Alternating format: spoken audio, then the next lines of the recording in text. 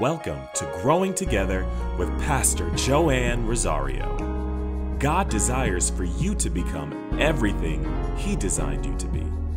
Welcome, Pastor Joann, as we continue growing together.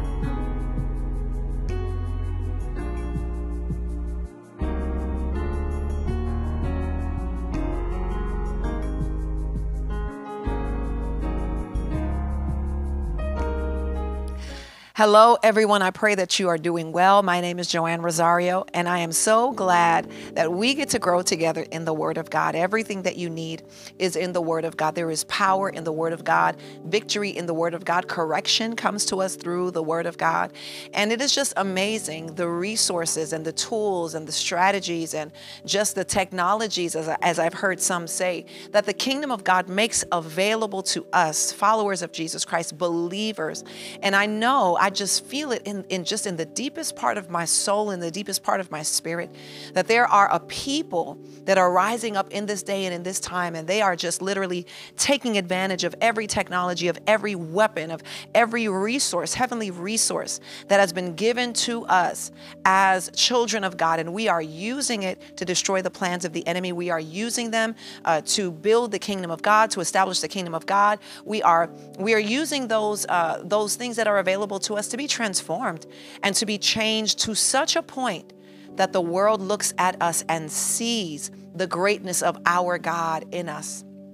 And so, all we can do is win. All we can do is rise. Even as we lower ourselves, even as we humble ourselves, even, even when we are being broken in, in wilderness seasons, what God is doing is He is manifesting the greatness and the purpose that is on the inside of you. And so don't be discouraged. No matter what season you are in, it is still your season. You may feel like you're walking in the valley of the shadow of death. You may feel like you're at your lowest point. You may feel like, like your life has completely and totally fallen apart. You may feel like you have lost everything.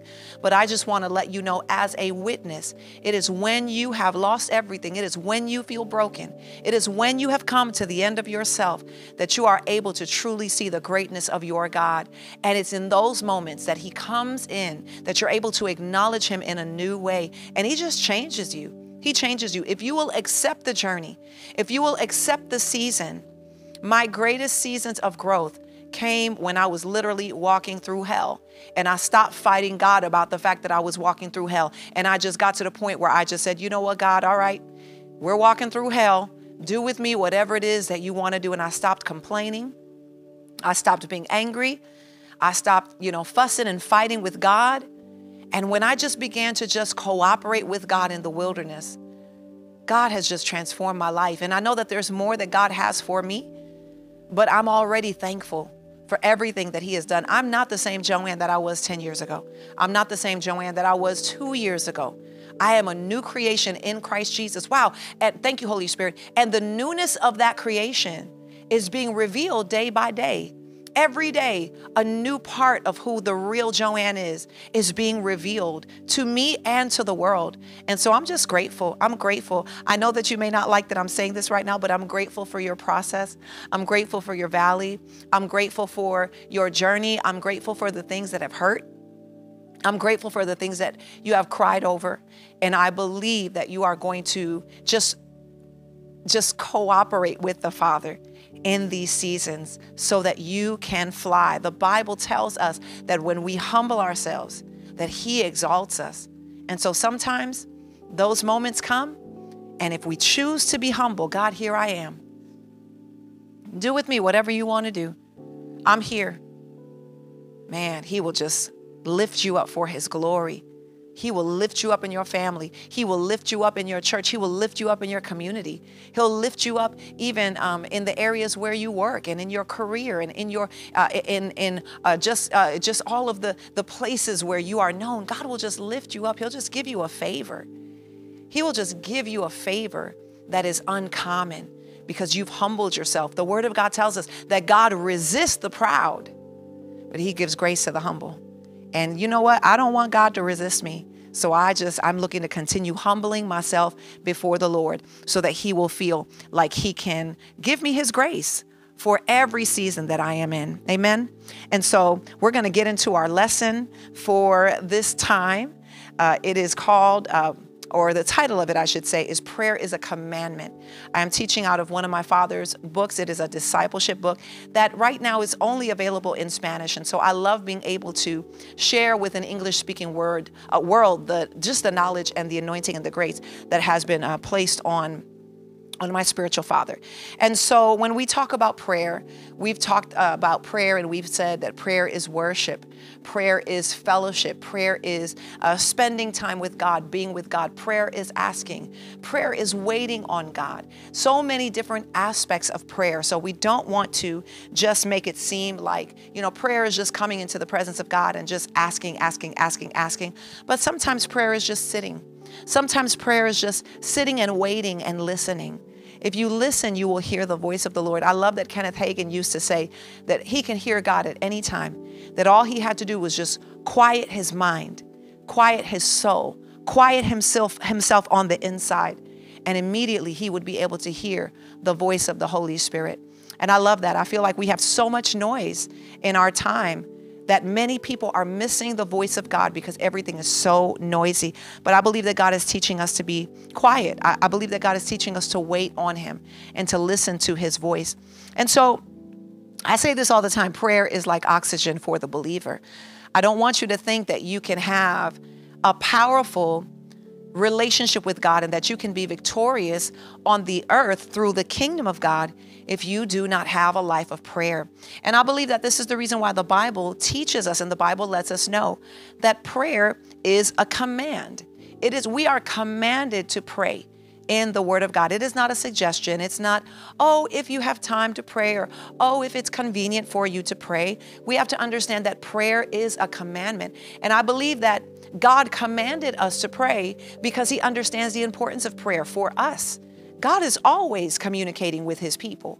But we have to make a decision to communicate with Him, to have a relationship with Him, to spend time with Him. And so this is our responsibility. God has already extended Himself to us in every way possible. He has extended Himself through Christ, He has extended Himself through uh, the death and the resurrection of our Lord Jesus. He has uh, made a pathway for us to be reunited uh, in relationship with Him. And so God has done everything that needs to be done in order for us to have a pathway. God is always speaking, and He's speaking to us. Right now, there are radio airwaves in this room, but because I don't have an antenna and I am not a radio, I don't have the mechanism of a radio.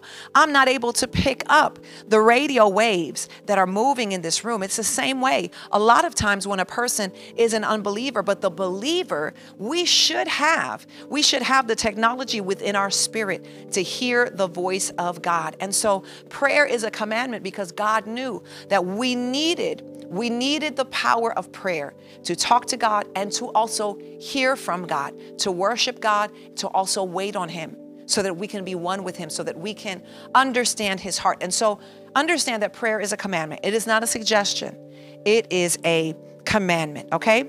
So, even though prayer should be a time of fellowship with our Heavenly Father, it is important for us to realize that prayer should not be seen as optional in the life of a believer. I know that there are many people who are just so talented. They have so many gifts, they have so many strategies. They are very, very smart, very, very intelligent. And you know, they believe in God and they love God, but they get up in the morning and they just go on about their way because they know that they have it all under control.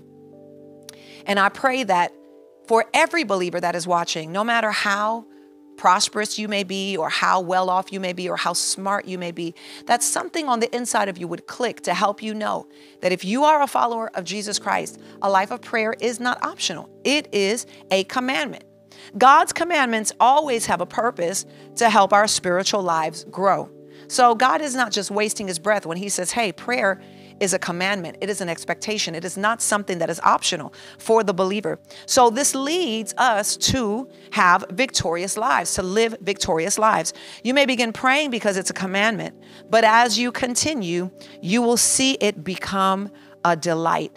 And this is the part that I think is so important for us to understand, especially when you are learning how to be disciplined in the area of prayer. Okay. The spiritual discipline of prayer in the beginning can be difficult because I think that naturally we tend to be very undisciplined people, right? And so when you when you begin to engage in prayer, it can become uh, it, it, you may feel like, oh, this is a waste of time. God is not hearing me. Uh, you know, I, I don't want to do this right now. Or you go into the place of prayer and your mind is literally racing because you have so many things that you need to do. So many things that you need to be able to accomplish in a certain amount of time. And, and you feel the pull to get those things done. You feel the pull of being able to, to attack those things and deal with those things. And you feel like if I get to it faster, I'll get done. I'm sitting here and I'm wasting my time.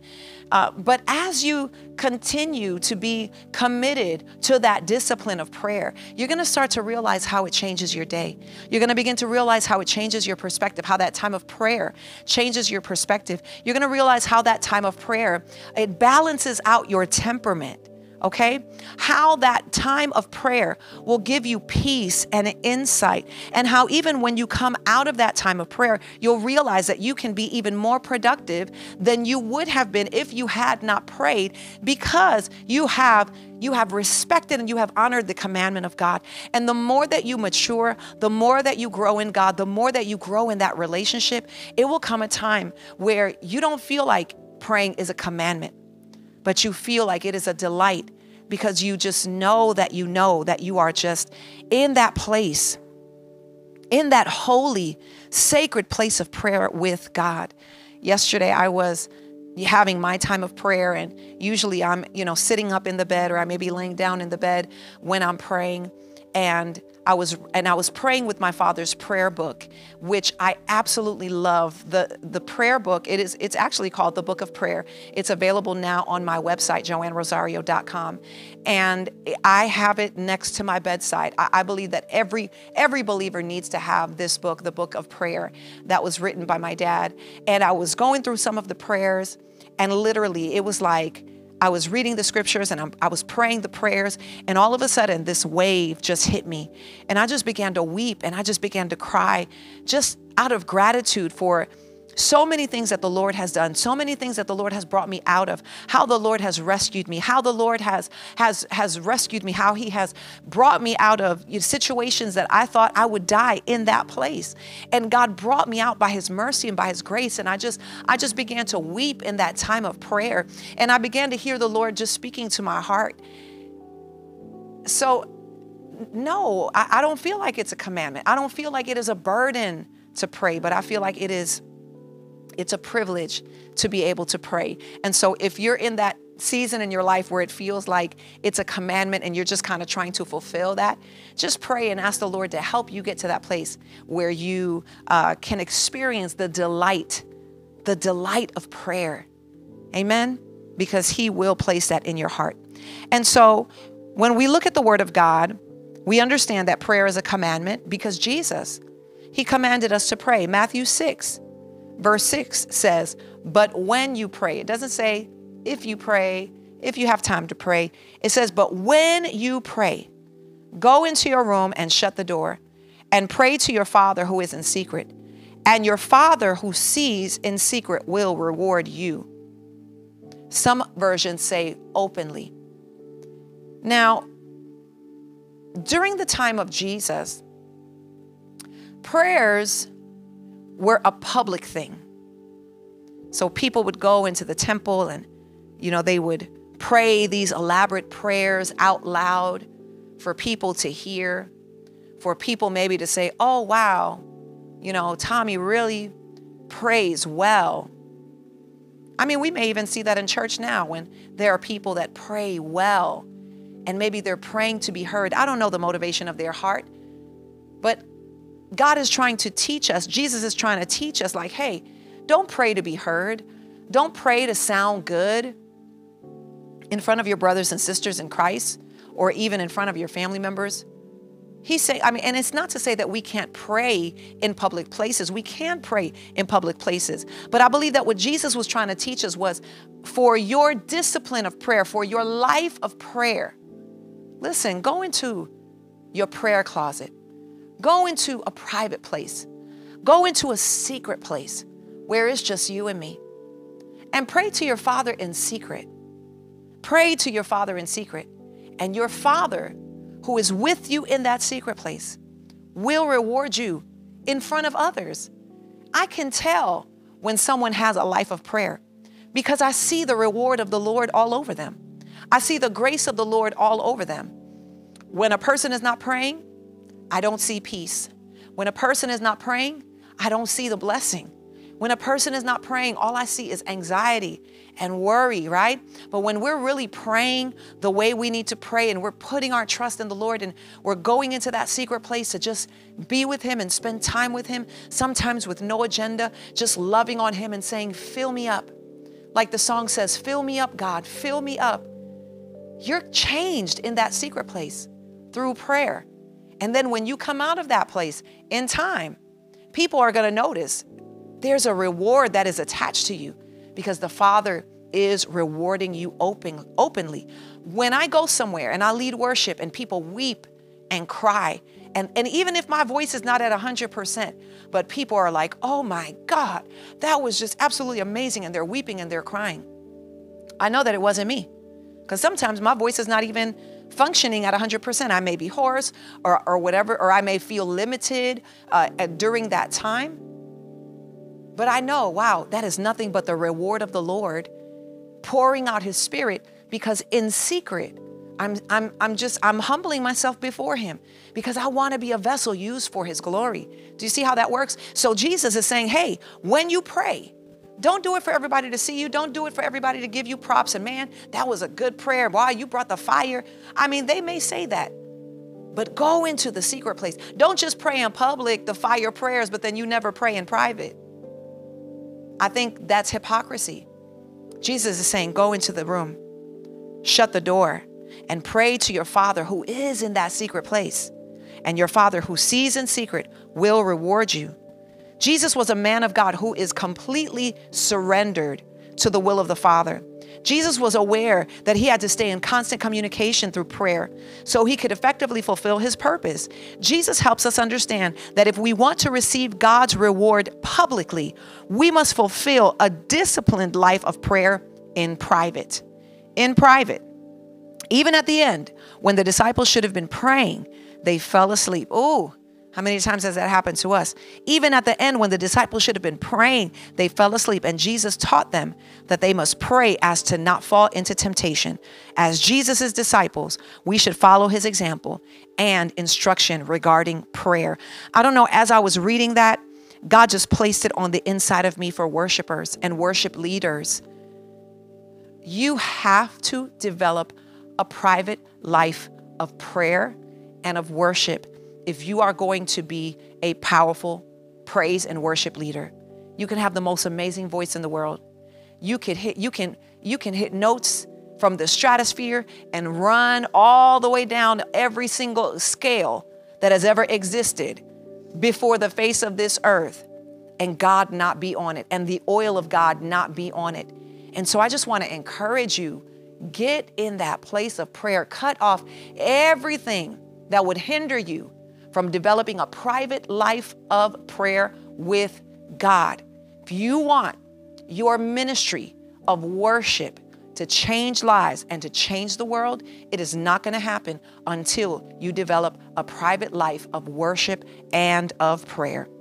Okay? Can the church say amen? Or say, if the shoe fits, wear it. I don't know, whichever one you want to say. All right?